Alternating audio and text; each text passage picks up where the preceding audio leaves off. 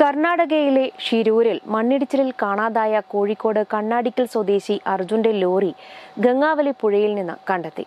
മാസങ്ങളായി മലയാളി സമൂഹവും അർജുന്റെ കുടുംബവും കേൾക്കാൻ കൊതിച്ച വാർത്തയായിരുന്നു എങ്കിലും തൊട്ടുമുൻപിൽ ആ സത്യം വെളിപ്പെടുമ്പോൾ അത് ഉൾക്കൊള്ളാൻ സാധിക്കാതെ വിതുമ്പുകയായിരുന്നു ഏവരും. ലോറിയുടെ ക്യാബിനിൽ ഒരു മൃതദേഹവും ഉണ്ട് ഇത് ആരുടേതാണെന്ന് സ്ഥിരീകരിച്ചിട്ടില്ല. ഡി എൻ എ പരിശോധനയ്ക്ക് ശേഷം മാത്രമേ അർജുന്റെ മൃതദേഹമാണോ ഇത് എന്ന് ഉറപ്പിക്കാൻ സാധിക്കുകയുള്ളൂ. ആദ്യഘട്ടം മുതൽ അർജുന്റെ തിരിച്ചുവരവിനായി ഇനി ജീവനോടെ ലഭിക്കില്ല എങ്കിൽ മൃതദേഹ അവശിഷ്ടങ്ങളെങ്കിലും ലഭിക്കുന്നതിനായി ലോറിയുടമ മനാഫ് ഗംഗാവലിയുടെ തീരത്ത് തന്നെയുണ്ടായിരുന്നു. ഇപ്പോൾ അദ്ദേഹം സ്ഥിരീകരിച്ചിരിക്കുകയാണ്. ലോറിക്കകത്ത് അർജുന്റെ മൃതദേഹം തന്നെയാണെന്ന്. കാണാതായി എഴുപത്തിയൊന്ന് ദിവസത്തിനു ശേഷമാണ് ലോറിയും ഒപ്പം ഒരു മൃതദേഹവും പുഴയിൽ നിന്ന് കണ്ടെത്തുന്നത്.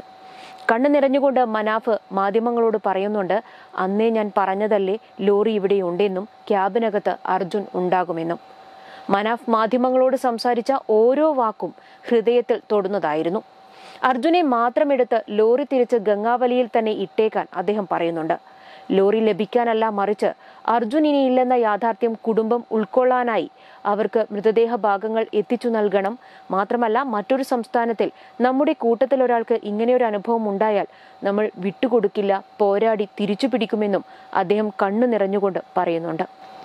അർജുനെ കണ്ടെത്തുവാനുള്ള ആദ്യത്തെ സുവർണ നിമിഷങ്ങൾ ജില്ലാ ഭരണകൂടം വേണ്ട പോലെ ഉപയോഗിച്ചിട്ടില്ല എന്ന് തന്നെയാണ് അന്നും ഇന്നും മനാഫ് അടക്കമുള്ളവർ പറയുന്നത്.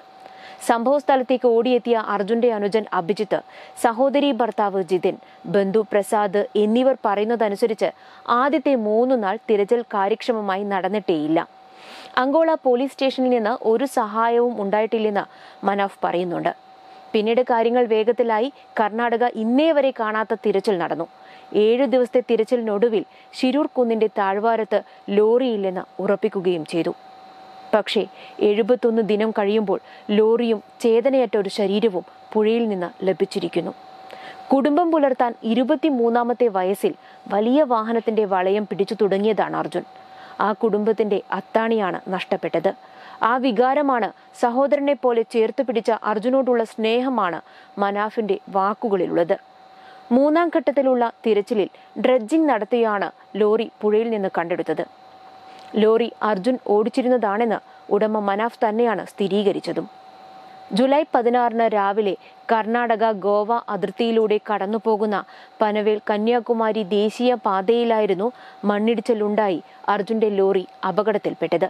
ബെലഗാവിലെ രാംനഗറിലുള്ള ഡിപ്പോയിൽ നിന്ന് അക്യൂഷ്യ മരത്തടി കയറ്റി എടവണ്ണയിലേക്കുള്ള മടക്കയാത്രക്കിടെയാണ് അർജുൻ അപകടത്തിലാകുന്നത്. ഉത്തര കന്നഡ ജില്ലയിലെ അങ്കോള താലൂക്കിലെ ശിരൂർ ഗ്രാമം ഇന്ന് ലോക മലയാളികളുടെ മനസ്സിലെ തീരാ നോവായി മാറിക്കഴിഞ്ഞു.